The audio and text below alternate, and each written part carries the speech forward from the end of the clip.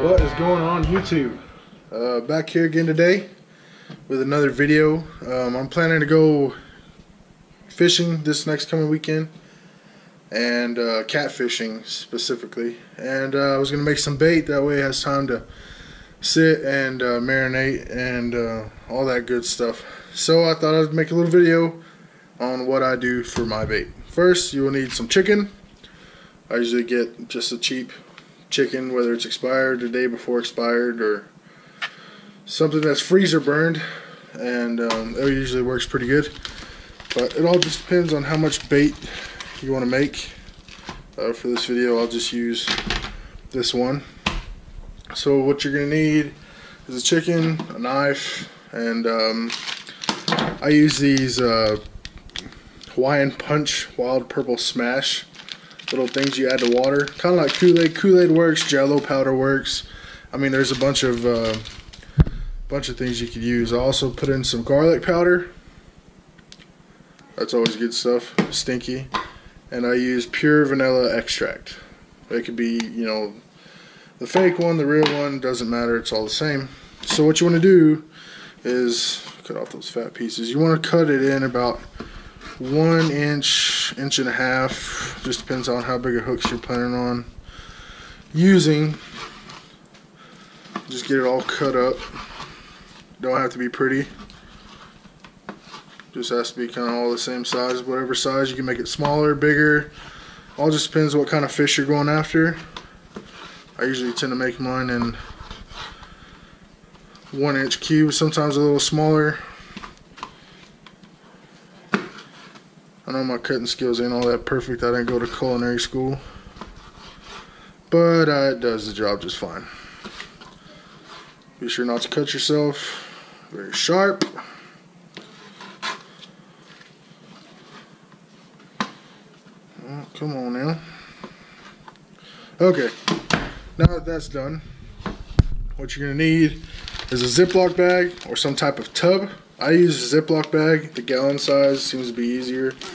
But if you want to use an old coffee can or anything else you have around your house that's empty, it all works the same. What you do is just throw all that chicken in there.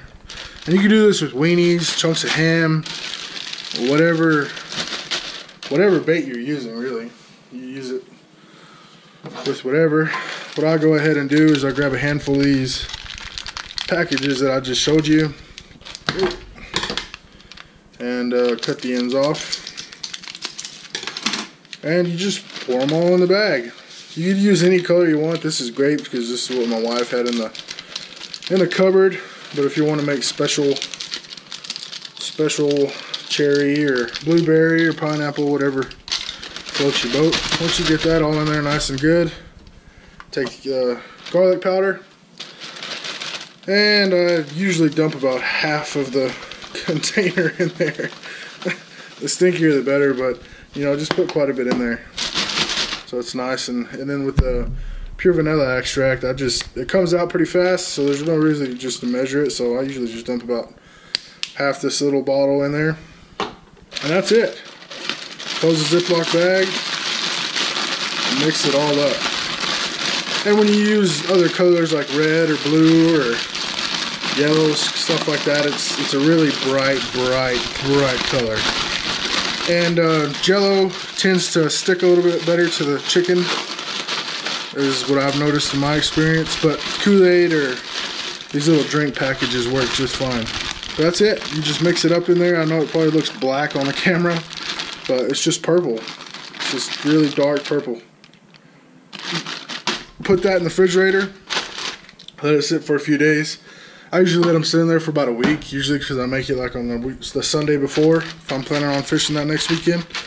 But you could cut the whole deal of chicken up. There's still two more breasts in here. If you're wanting to cut that up much more to make a whole lot more bait for yourself, I mean, it's it's really cheap. And I mean, as this chicken, you can see there, it's it's 2.94 for three big breasts. So that's not bad. It's got a bunch of fat and stuff on there, but it does just fine. But yeah, I mean, if that's if this has worked best for me, I just thought I'd make a little video on on the bait that I use, and maybe y'all could try it out. Let me know if it works for you. Maybe there's a twist that you put it on there. If you didn't, uh, if you want to learn more of these recipes, uh, catfishandcarp.com their that YouTube channel. Luke, he has a bunch of recipes on there for um, catfish bait, but this is kind of my little twist on it.